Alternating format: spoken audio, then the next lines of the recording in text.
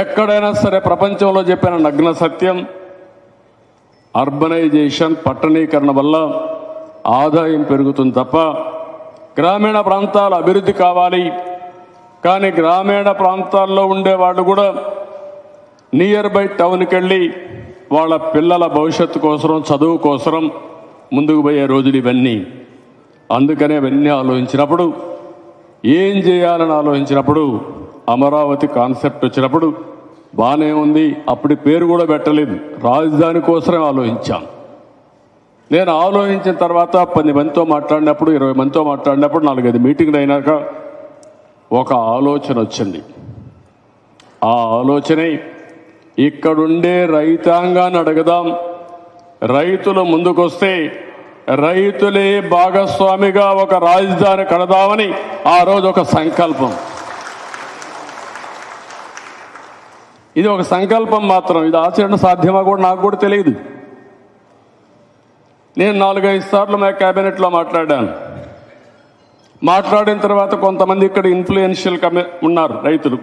ఆదర్శ రైతులు వాళ్ళు రమ్మన్నాను. రెండు మూడు మీటింగ్లు ఉన్నాయి. ఇక్కడ కూడా రైతుల్లో అన్ని కులాలు ఉన్నాయి. రైతుల్లో అన్ని రాజకీయ పార్టీలు ఉన్నాయి. ఆ విషయం కూడా మనం గుర్తుపెట్టుకోవాల్సిన అవసరం. ఇక్కడ ఒక తెలుగుదేశం పార్టీ లేదు. ఇప్పుడు కూడా మొన్న కూడా నేను ఇంత డెవలప్ చేసి ఓడిపోయిన సీట్ ఏదంటే తాడికొండ ఓడిపోయింది. రాజధానిలో ఉండే తాడికొండ ఎస్సీ సీట్ ఓడిపోయాం. నేను హైదరాబాద్ అభివృద్ధి చేస్తే నెక్స్ట్ ఎలక్షన్లో రెండు వేల నాలుగులో ఖైరతాబాద్ ఓడిపోయాం. కాబట్టి అభివృద్ధికి ఎన్నికలకు సంబంధం లేదు. కానీ మనం చేసిన పనులు మాత్రం శాశ్వతంగా ఉంటాయి. మనకు ఒక సాటిస్ఫాక్షన్ ఉంటుంది జరిగింది అది. ఇక్కడ నేను అది ఆలోచించినప్పుడు వాళ్ళు వస్తే ఒక నాలుగైదు మీటింగుల్లో మాట్లాడాను మాట్లాడిన తర్వాత ఒకరొకరు చెప్పిన తర్వాత అందరి అభిప్రాయాలు విన్న తర్వాత సూత్రపాయంగా మీరు కానీ మాకు అనుకూలంగా ఇవ్వగలిగితే ప్యాకేజ్ కానీ కాంపన్సేషన్ కానీ ఇవ్వగలిగితే మేము కూడా ఆలోచిస్తామని చెప్పిన తర్వాత దానికి నెంబర్ ఆఫ్ మీటింగ్స్ పెట్టుకొని ఫైనల్గా ప్రపంచంలో ఎక్కడా జరగని విధంగా ల్యాండ్ పూలింగ్ కాన్సెప్ట్ కాన్సెప్ట్ తీసుకొచ్చిన ఘనత ఆ రోజు ఇక్కడుండే రైతాంగానికి దక్కింది. దాతల మీరు. అక్కడి నుంచి ప్రారంభమైంది. దేనికంటే ఎవరు మాట్లాడినా యాభై మూడు నుంచి రెండు కూడా గుంటూరుకు విజయవాడకు మధ్యలో ఉండాలి. రెండోది ఇప్పుడే మిత్రులు మాట్లాడి చాలా స్పష్టంగా చెప్పారు. ఇచ్చాపురం నుంచి కడాన మంత్రాలయం లేదంటే కుప్పం అవన్నీ కూడా ఇదే చేస్తే రెంట్కి సమానంగా ఉండే ఏకైక ప్రదేశం కృష్ణా నది ఒడ్డు. ఎక్కడి నుంచైనా లెక్కేసుకోండి. పదం పన్నెండు పార్లమెంట్లు ఒక సైడు పన్నెండు పార్లమెంట్ ఒక సైడు పదమూడవ పార్లమెంటు గుంటూరు. డిస్టెన్స్ కూడా ఎగ్జాక్ట్గా అదే డిస్టెన్స్ వస్తుంది. ఇక్కడ ఒక కమ్యూనిటీ కోసరం లేకుంటే ఇంకొకరి కోసరంగా హైదరాబాద్ అభివృద్ధి చేశానంటే నేను రాయలసీమ నుంచి వచ్చా. ఇక్కడ కూడా నేను చూసా ఇక్కడ ఉంటే ముగ్గురు రాయలసీమ వాళ్ళు ఉన్నారు ఇక్కడ. తులసిరెడ్డి రాయలసీమ కడప. రామకృష్ణ అనంతపూర్ నేను చిత్తూరు. అంటే ఆ రోజు నేను అభివృద్ధి చేయాలంటే తిరుపతిని అభివృద్ధి చేయాలి. నేను రా రాజధాని ఎంపిక చేసుకోవాలనుకుంటే మా ఇంటి ముందర తిరుపతిలో ఎంపిక చేసుకుంటే అక్కడ బ్రహ్మాండమైన ల్యాండ్ గవర్నమెంట్ ఆఫ్ ఇండియాది ఉంది. నారావారిపల్లి నుంచి రంగంపేట నుంచి తిరుపతి వరకు కొన్ని వేల ఎకరాలు ఉంది. ఏమి ల్యాండ్ అక్విషన్ కూడా అవసరం లే. కానీ అది కాదు. నేను శాశ్వతం కాదు. నవ్యాంధ్రప్రదేశ్కు రాజధాని శాశ్వతం. ఆ రాజధాని సెంట్రల్ ప్లేస్లో ఉండాలని ఆలోచించాను. దానికి సహకరించింది రైతులు సహకరించారు. నేను ఒకప్పుడు నేను సీఎం అవుతానని తొంభై ఐదులో నేను ఎక్కడికి వెళ్ళానంటే అమెరికాకి వెళ్ళాను. అమెరికాకి వెళ్ళి హైటెక్ సిటీ ఫౌండేషన్ వేసిన తర్వాత మొత్తం అన్ని కంపెనీలు కలిసి మీరు మా హైదరాబాద్కి రండి ఐటీ కంపెనీ పెట్టండి. మా దగ్గర బ్రహ్మాండమైనటువంటి యువకులు ఉన్నారు ఐటీలో మేము అందరికంటే మేటిగా ఉన్నామని ఆ రోజు చెప్పా. ఈసారి నేను వెళ్ళింది ఒక రాజధాని లేనటువంటి నవ్యాంధ్రప్రదేశ్ రాజధాని కట్టాలి కాబట్టి నేను సింగపూర్కి వెళ్ళి అక్కడుండే ప్రభుత్వాన్ని కోరాను. సింగపూర్ ప్రభుత్వాన్ని ఒకటే రిక్వెస్ట్ చేస్తే అంత మునుపుండే పరిచయాలతో నేను టెండర్ పిలవాలంటే లేట్ అవుతుంది. మీరు నాకు ఒక సహాయం చేయండి.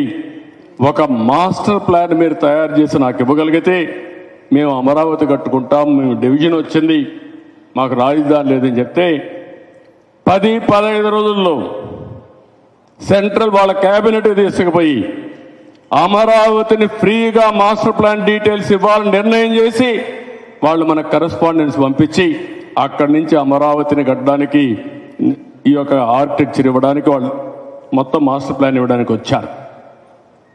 ఆ మాస్టర్ ప్లాన్ ఉపయోగించుకోవడం మన ఆలోచన. ఇక్కడ కూడా మీరు గుర్తుపెట్టుకోవాల్సింది హైదరాబాద్లో భూమి ఉంది.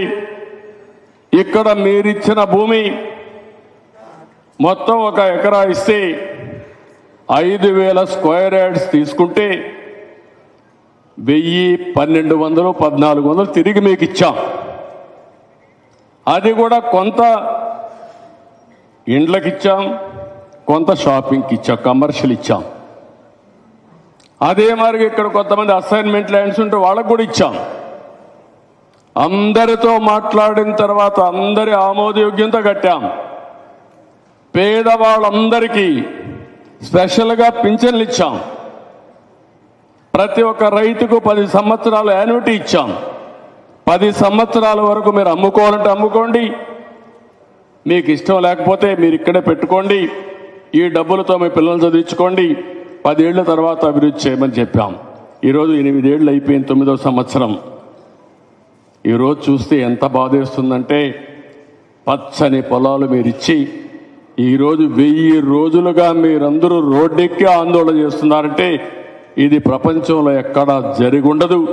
అది ఒక్క అమరావతి రైతాంగమే చేయగలిగారు పోరాటం చేయగలిగారు. మీ పోరాటానికి మనస్ఫూర్తిగా అభినందిస్తున్నాం. ఈ రాష్ట్రం ఉన్నటువంటి ఐదు కోట్ల మందిని అనాదరణ చేసి అన్ని ప్రాంతాలని గాలికి వదిలేసి ఈ రాష్ట్ర సంపదనంతా కూడా ఒకచోటకి తీసుకొచ్చి అక్కడ ఖర్చు పెడితే దాంట్లో ఎంతమంది లబ్ధి పొందుతారు? అక్కడ ఉన్నటువంటి రైతులు ఇరవై తొమ్మిది గ్రామాలకు సంబంధించినటువంటి ముప్పై మూడు వేల ఎకరాలు ఇచ్చినటువంటి రైతాంగానికి తప్పించే ఇంకెవడ ముప్పై మూడు వేల ఒకటో వాడికో రెండో వాడికి ఎక్కడన్నా ఉపయోగం ఉంటుందా? మా ప్రాంతాల్లో మున్సిపాలిటీలు కావచ్చు గ్రామాల్లో కావచ్చు రోడ్లు కావచ్చు నీటి ప్రాజెక్టులు కావచ్చు త్రాగునీరు కావచ్చు ఇటువంటి అభివృద్ధి చేసుకోవడానికి ఈ రాష్ట్ర ప్రజలకి కష్టపడి పన్నుల రూపంలో ఇచ్చినటువంటి సొమ్ము మొత్తం అమరావతిలోనే ఖర్చు పెడితే ఈ రాష్ట్రం దివాళా తీసేటువంటి పరిస్థితి రాదా? శ్రీలంక ఈ రోజు ఎందుకో అంత దివాళా తీసింది? చెన్నై దగ్గర చై- చైనా దగ్గర వేల కోట్ల రూపాయల అప్పులు తెచ్చి ఒక నగరాన్ని నగరాన్ని నిర్మిస్తానని చెప్పి పెట్టుబడులు పెట్టి అక్కడ దాన్ని నిర్మించి ఒక రూపాయి దమ్మిడి కూడా ఆదాయం లేక ఈరోజు శ్రీలంక దివాళా తీసి అలో లక్షణ అని చెప్పి ప్రజలందరూ రోడ్డు మీద అడుక్కు తినేటువంటి పరిస్థితి తీసుకొచ్చారు.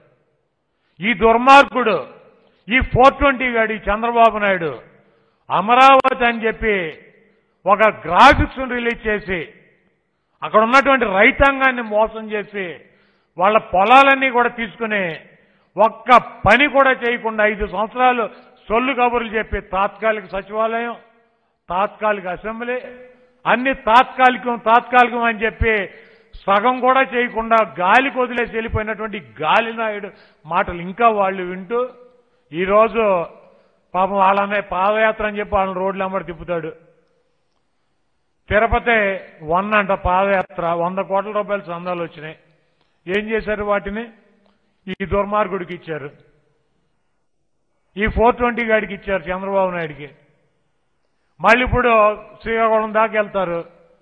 మళ్ళీ ఒక వంద కోట్లు పోగేస్తారు. ఏం చేస్తారు? జగన్మోహన్ రెడ్డి గారిని దించేస్తేనే రాజధాని ఉంటుందని చెబుతాడు. ఈ ఫోర్ ట్వంటీ గాడికి ఇస్తారు ఆ వంద కోట్ల రూపాయలు కూడా. ఈరోజు ఈ రాష్ట్ర ప్రజలకి స్పష్టంగా చెప్పాల్సినటువంటి అవసరం ఉంది. భారతదేశంలో ఉన్నటువంటి మొట్టమొదటి మహానగరం ఢిల్లీ. ఎన్ని అసెంబ్లీ నియోజకవర్గాలు ఉంటాయి ఢిల్లీలో? డెబ్బై రెండు అసెంబ్లీలు కలిపితే డెబ్బై రెండు అసెంబ్లీలు. గ్రేటర్ ఢిల్లీ. ఢిల్లీ అనేటువంటి మహానగరంలో డెబ్బై రెండు అసెంబ్లీ నియోజకవర్గాలు ఉంటాయి. కార్పొరేటర్లు కాదు. సర్పంచులు కాదు ఎంపీటీసీలు కాదు. డెబ్బై రెండు నియోజకవర్గాలు డెబ్బై రెండు మంది ఎమ్మెల్యేలు ప్రాతినిధ్యం వహిస్తారు ఢిల్లీ మహానగరానికి. ముంబైకి ముంబై మహానగరానికి ముప్పై తొమ్మిది మంది ఎమ్మెల్యేలు ఉంటారు. ముప్పై తొమ్మిది మంది శాసనసభ్యులు ముంబై మహానగరానికి ఉంటారు. కోల్కత్తా ఇరవై ఐదు పైన ఉన్నాయి దాదాపు ముప్పై మంది కోల్కత్తాకి శాసనసభ్యులు ఉంటారు ఒక ఒక కోల్కత్తా అనేటువంటి ఒక నగరానికి ముప్పై మంది శాసనసభ్యులు ఉంటారు గ్రేటర్ హైదరాబాదు ఇరవై నాలుగు మంది శాసనసభ్యులు ఉంటారు చెన్నై ఇరవై తొమ్మిది మంది శాసనసభ్యులు ఉంటారు బెంగళూరు అక్కడ కూడా అంత ఇరవై ఏడు మంది ఇరవై ఎనిమిది మంది శాసనసభ్యులు ఉంటారు ఈ మహానగరాలు దేంటో కూడా పాతిక మంది శాసనసభ్యులు ఉన్నటువంటి కార్పొరేషన్లో దేశ రా- రాష్ట్ర రాజధానులకు ఉన్నాయి. ఈ ఆరు చోట్ల. మనకేంటంటే తాడికొండ నియోజకవర్గంలో ఐదు ఆరు మండలాలు ఉంటే ఆ మండలాల్లో పూర్తిగా ఒక మండలంలో కూడా కాదు. ఆ మండలంలో ఉన్నటువంటి ఇరవై తొమ్మిది కుగ్రామాలు ఈ ఇరవై తొమ్మిది డెబ్బై రెండు ముప్పై తొమ్మిది ఉన్నటువంటి అసెంబ్లీ నియోజకవర్గాలు ఉన్నటువంటి మహానగరాలతో ఈ దుర్మార్గుడు పోల్చి వాళ్ళకు ఆశలు కల్పిస్తున్నాడంటే వాళ్ళనేమనాలి? ఈ ఫోర్ ట్వంటీ గారిని చంద్రబాబునేమనాలి?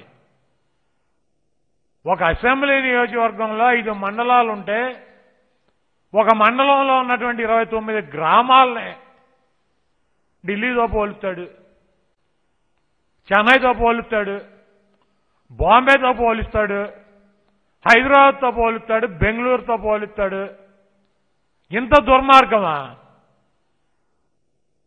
నలభై సుమారు నలభై నియోజకవర్గాలు ఉన్నటువంటి పట్టణం ఎక్కడ? ఒక నియోజకవర్గంలో ఐదు మండలాలు ఉంటే ఒక మండలంలో ఉన్నటువంటి ఇరవై తొమ్మిది గ్రామాలు ఉన్నటువంటి అమరావతి ఏంటి? అక్కడ అరవై కోట్ల రేటు ఉంది ఎకరం. ఇక్కడ కూడా అయిపోద్దని చెబుతాడు. ఎన్ని వేల కోట్లు పెడితే ఎన్ని లక్షల కోట్లు పెడితే అవుద్ది? ఎన్ని సంవత్సరాల నుంచి ఎన్ని వందల సంవత్సరాల నుంచి ఈ ఆరు నగరాలను నిర్మిస్తున్నారు? హైదరాబాద్కి నాలుగు వందల సంవత్సరాల చరిత్ర ఉంది.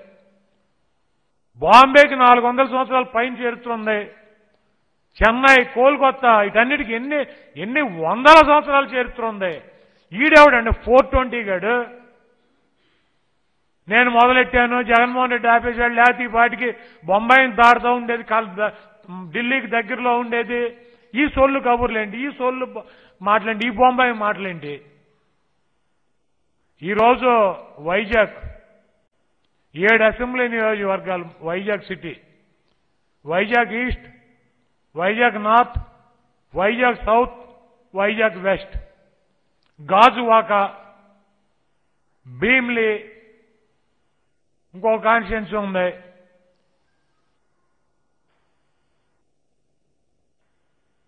అవి రెండు కూడా రూరల్ పెందుర్తి అవి రెండు కూడా ఎయిటీ పర్సెంట్ వైజాగ్ సిటీలో ఉంటాయి ఏడు నియోజకవర్గాలు ఒక పార్లమెంటు ఉన్నటువంటి అసెంబ్లీ ఒక పార్లమెంట్ ఉన్నటువంటి వైజాగ్ పట్టణాన్ని ఒక క్యాపిటల్ చేయాలని చెబుతున్నాడు ముఖ్యమంత్రి గారు నలభై కోట్ల రూపాయలు ఖరీదు చేసేటువంటి హార్బర్ ఉంది వైజాగ్లో నలభై యాభై కోట్ల రూపాయలు ఖరీదు చేసేటువంటి వైజాగ్ స్టీల్ ప్లాంట్ ఉంది. అనేక కేంద్ర సంస్థలు ఉన్నాయి. ఆయిల్ రిఫైనరీలు ఉన్నాయి. పాతిక లక్షల మంది జనాభా ఉన్నటువంటి మహానగరం. ఈ ఉమ్మడి ఆంధ్రప్రదేశ్లో హైదరాబాద్ తర్వాత మించినటువంటి మహానగరం. ఈ బంగాళాఖాతంలో ఇటు చెన్నైకి అటు కలకత్తాకి మధ్యలో ఉన్నటువంటి మహానగరం.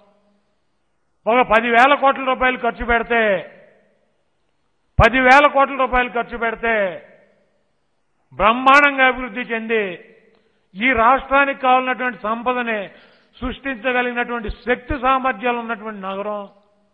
అటువంటి నగరంలో ఒక క్యాపిటల్ పెట్టి ఒక సెక్రటేరియట్ పెట్టి అక్కడి నుంచి పరిపాలన కొనసాగిస్తే ఆ మహానగరం రాబోయే పాతి సంవత్సరాల్లోనో యాభై సంవత్సరాల్లోనో ఆ ఆరు ఆరు సిటీలని దాటపోయిన ఏడో స్థానంలోనో ఎనిమిదో స్థానంలోనో ఉండి ఈ రాష్ట్రానికి సంపద సృష్టిస్తుందని చెప్పి ముఖ్యమంత్రి గారు ఆ ప్రాంతాన్ని కూడా అభివృద్ధి చెందాలి.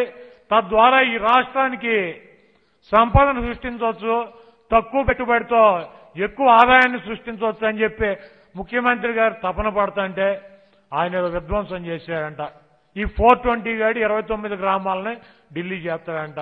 బొంబాయి చేస్తాడంట. ఈ బొంబాయి గాడి బొంబాయి మాటలు